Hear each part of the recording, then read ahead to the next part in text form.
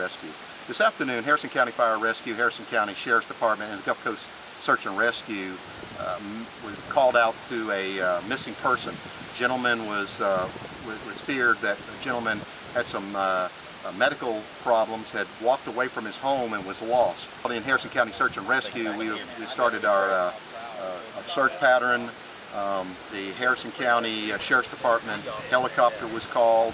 Uh, we used drones and started checking the area. Uh, Gulf Coast Search and Rescue uh, dog teams, canines were, were notified, search and rescue dogs were notified, and we, we went to the area that the person was last seen, started doing a, a search of the area. Um, after about 30 minutes to 45 minutes of searching the area, uh, one of the dogs was able to scent the individual in the woods and started going to his location.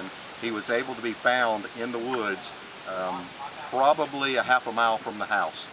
The individual was being was treated by paramedics on scene from uh, Harrison County Fire Rescue and was transported to the hospital for treatment.